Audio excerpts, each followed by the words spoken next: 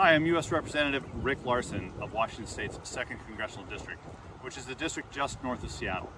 As a lifelong soccer fan, as a former youth and high school soccer player, and as a current co-chair of the Congressional Soccer Caucus, I'm very excited about the opportunity that we have in the Northwest to host a World Cup in 2026.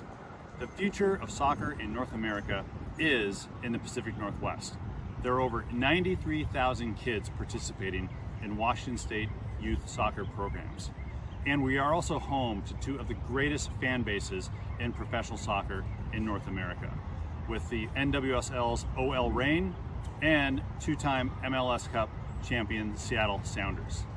So I'm very excited about this opportunity that we have to host the premier tournament of the beautiful game. And so we'll see you at kickoff in 2026.